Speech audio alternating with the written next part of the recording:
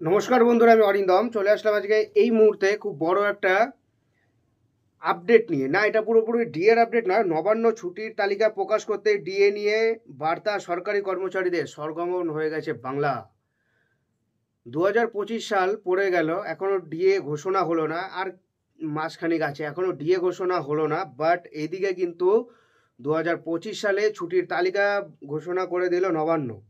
কবে কবে ছুটি আছে, সেটা নিয়ে কিন্তু এবার রাজ্য থেকে রাজনীতি প্রচুর ডিএ কর্মীরা কিন্তু মানে ডিএ কর্মীরা মানে রাজ্য সরকারি কর্মচারীরা যারা ডিএ নিয়ে আন্দোলন করছে, তারা কিন্তু এর তীব্র প্রতিক্রিয়া জানালো।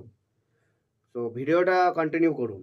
মর্গ ভাতা বিষয়ে নতুন করে প্রশ্নের মুখে, রাজ্য সরকার দু হাজার চব্বিশ সাল শেষ হয়নি, তার আগে দু হাজার পঁচিশ সালে রাজ্য সরকারি কর্মচারীদের ছুটির তালিকা প্রকাশ করে দিয়েছে রাজ্য সরকার।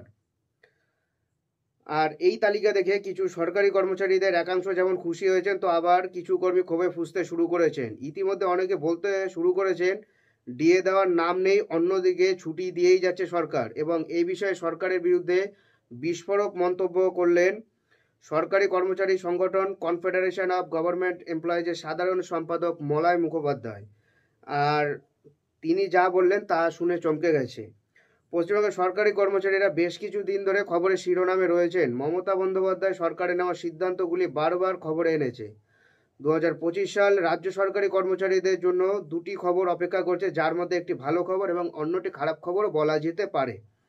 বলা হচ্ছে দু হাজার পঁচিশ সালে রাজ্য সরকারি কর্মচারীরা যেমন ভাতা বাড়বে, তেমনি ছুটিও কমবে। সামনের বছর দুর্গাপুজো থেকে শুরু করে লক্ষ্মী পুজো সহ আরও অনেক উৎসবে বাড়তি ছুটি পেয়ে যাবেন সরকারি কর্মচারীরা।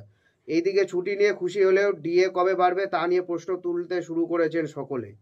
বলা হচ্ছে দু হাজার পঁচিশ সালে রাজ্য সরকারি কর্মচারীদের ভাতা যেমন বাড়বে, তেমনি কিন্তু ছুটিটাও কিন্তু কমবে। ডিএ কবে মিলবে তা নিয়ে মলয় মুখোপাধ্যায় নিজের ফেসবুক হ্যান্ডেলে পোস্ট করেছেন।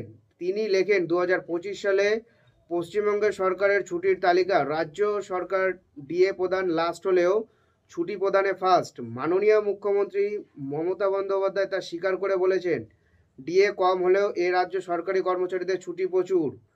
তাই কর্মীদের আর ভ্যালু অ্যাড করতে হবে। সত্যি বড় বিচিত্র এই যুক্তি। উল্লেখ্য, পশ্চিমবঙ্গ রাজ্য সরকারি কর্মচারীরা এখন ষষ্ঠ বেতন কমিশনের আওতায় স্যালারি এবং মর্গ ভাতা পাচ্ছেন। তাদের প্রাপ্ত মর্গ ভাতার হার চোদ্দ পার্সেন্ট যদিও কানাঘুষো শোনা যাচ্ছে এবং আমিও নিউজ পড়েছিলাম ডিসেম্বর মাসের লাস্টে হয়তো ডিএ ঘোষণা হলেও হতে পারে এমনটাই চান্স ছিল। তো এটা অর্থ দপ্তরের যে আধিকারিক যিনি বলেছিলেন, তিনি কিন্তু এটা বলেছিলেন যে উপনির্বাচনের জন্য হয়তো ঘোষণা করতে পারছেন না বাট উপনির্বাচনটা গতকাল শেষ হয়ে গেছে। এটাই হলো আজকেকার আপডেট সেরকম আপডেট জন্য অবশ্যই চ্যানেলটা সাবস্ক্রাইব করে আমাদের পাশে থাকুন। দেখা হচ্ছে পরে ভিডিওতে ভালো থাকবেন সবাই, নমস্কার, জয় হিন্দ, বন্দে মাতারম।